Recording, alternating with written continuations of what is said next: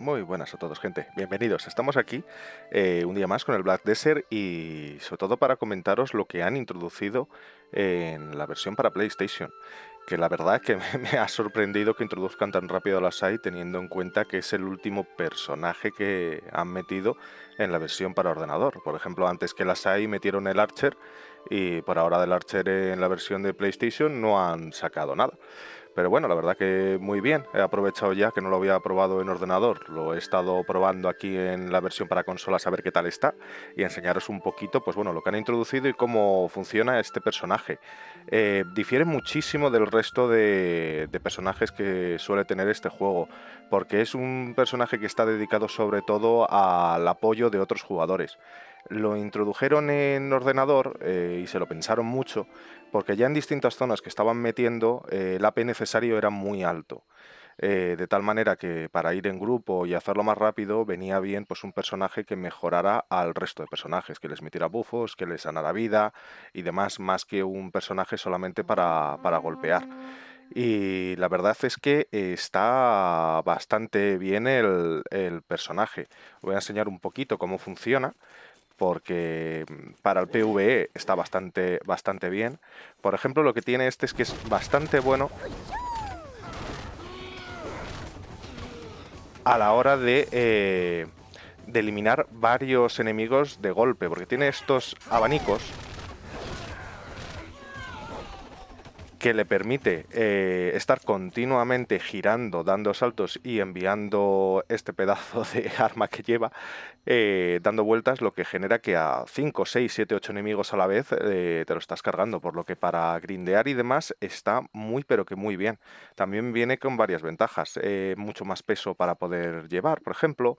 Después, ¿qué más tenemos? Que como personaje, a ver, está por aquí, ya viene directamente con recolección en profesional y con alquimia también en profesional 1, lo que la verdad que ayudan muchísimo. Y después sus habilidades secundarias incrementan eh, un poquito el porcentaje en recolección y alquimia. Te va subiendo un 1% el porcentaje que va a recolectar. Eh, y la verdad eso también ayuda muchísimo.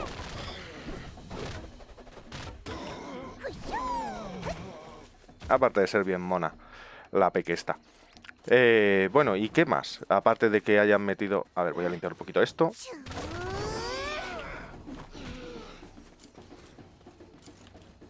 A ver, así. aquí no nos molesta nadie.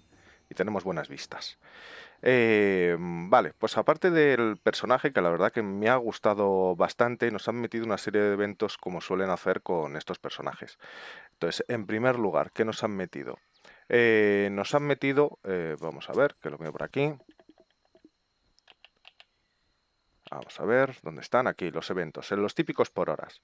El primero eh, nos da unos pergaminos que nos incrementan la experiencia por combate durante 60 minutos, que generalmente pues, viene muy bien a la hora de subir al personaje porque también nos han puesto un eventos por niveles, de tal manera que nos es más fácil llegar. Eh, durante la semana nos van a dar pues estos eh, por una hora, nos van a dar dos, después nos va a dar una, lágrima de Helion y después nos van a dar estos zumitos que vienen muy bien. Estos eh, ya veréis vosotros lo que queréis, si dedicarlos a este personaje o si tenéis otro personaje principal o lo que os interese, porque este básicamente sirve para mejorar lo que es el aliento, la fuerza y la salud.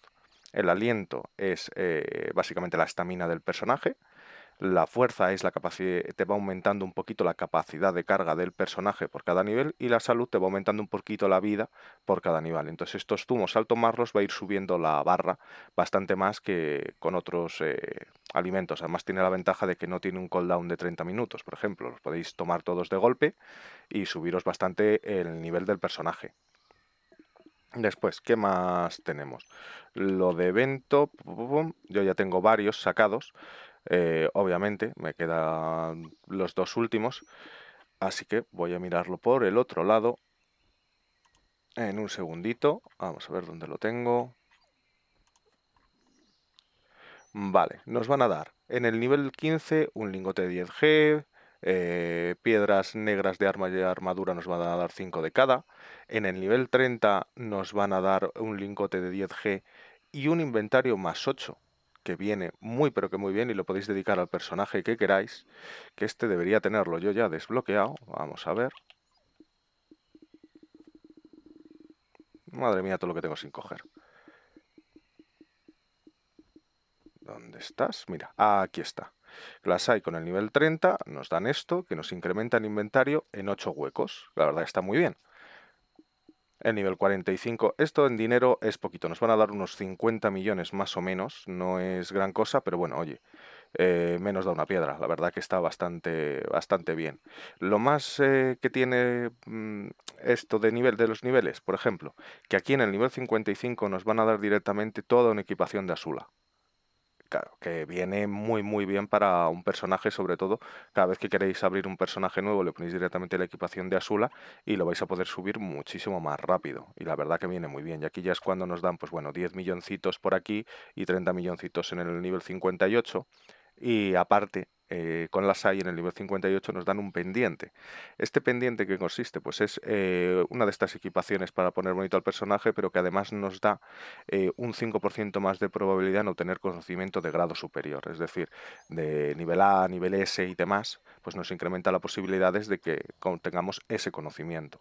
Y viene muy bien, y además gratuito. Esto normalmente cuesta en el mercado, creo que son unos 6, 7 euros uno de estos para los personajes. Lo único que este es único y para las hay. O sea, cada uno de estos es para cada personaje y el que nos dan es para él.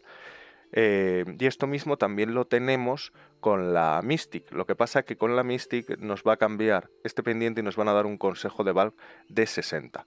El resto, por lo que estoy viendo, es prácticamente igual. Tiene los 8 de inventario, que viene muy bien.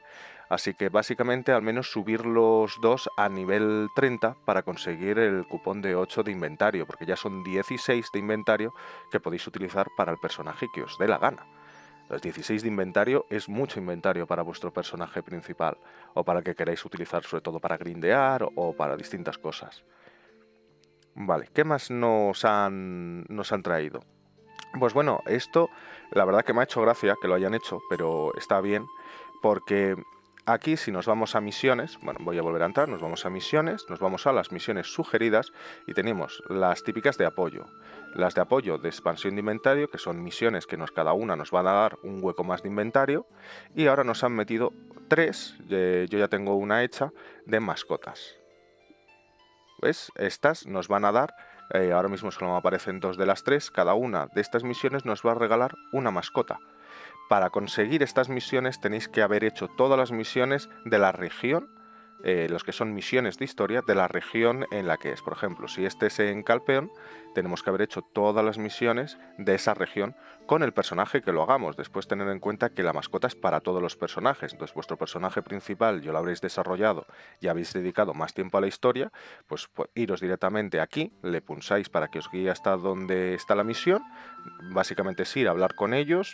Normalmente no tenéis que hacer nada y os dan directamente la mascota. Y dan tres mascotas. ¿Y por qué digo que es gracioso que lo hayan metido? Porque esto surgió en ordenador porque continuamente, cada vez que, eh, ¿cómo os lo voy a decir? Cuando solamente regalaban mascotas, cuando era un evento para nuevos jugadores que entraran en el juego, y por ejemplo cuando eran las recompensas diarias para jugadores que llevaban más de 30 días sin jugar en el juego. ¿Qué pasaba? Que claro, los jugadores que jugaban todos los días se quejaron y dijeron no puede ser que solamente estéis dando regalos de mascotas a aquellos jugadores pues que han dejado el juego y después vuelven o jugadores nuevos y los que están continuamente jugando no les den nada.